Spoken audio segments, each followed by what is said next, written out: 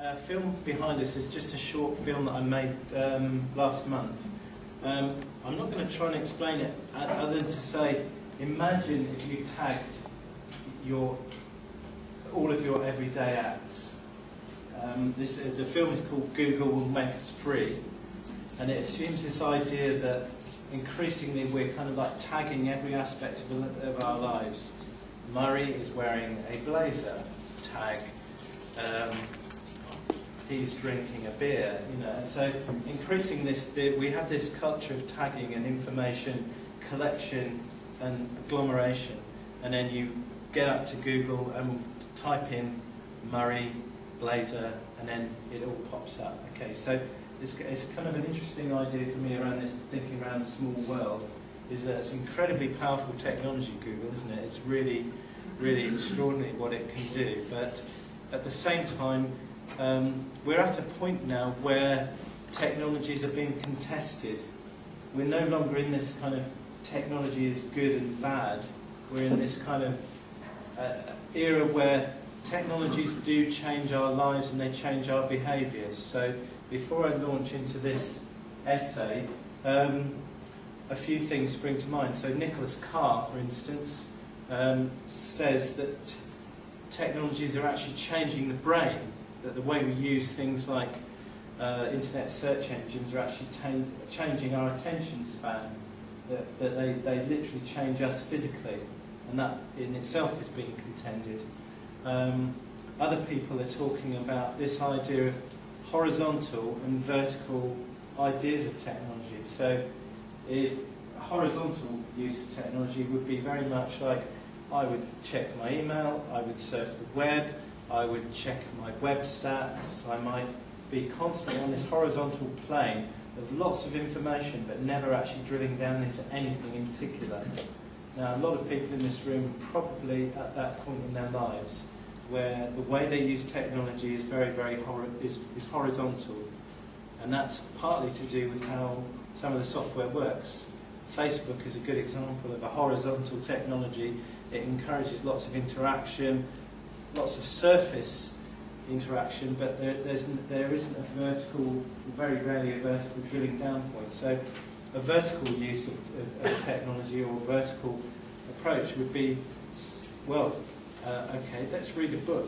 It's 350 pages long, it's been written by somebody, and it actually requires you to sit down, to absorb the thought, and to think.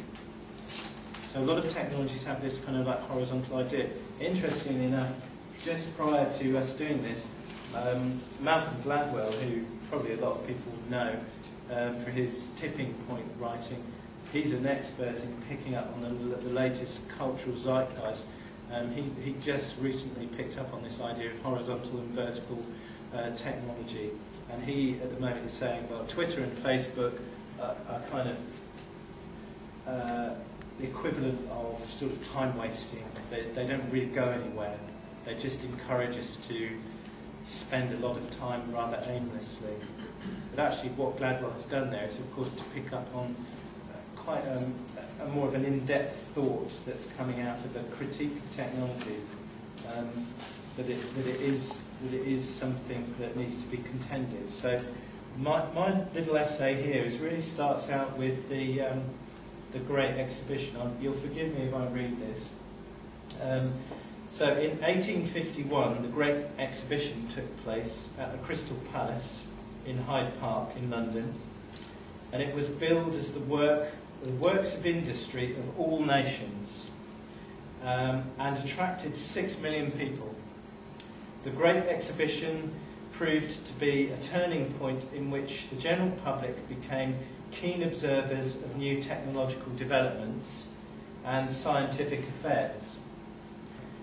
In 2010, the Shanghai Expo in China attracted over 52 million visitors with a series of nation-state pavilions as a grand gathering of the world cultures. In the 160-year period between the two exhibitions, the baton of economic and industrial power has been well and truly ceded to the Chinese. At the same time, through networked extension and digital connectivity, we are in an unprecedented era of access to ideas, information and thought. This extension distorts the supremacy of the nation state and blurs the boundaries of authority. Google's conflict with the Chinese government around censorship effectively illustrates this issue. Everyone is an expert, everyone has something to say, and every channel can, in theory, compete on a level playing field. Such a techno-utopia provides everyone with an equivalent set of tools rendered through the cloud and often free.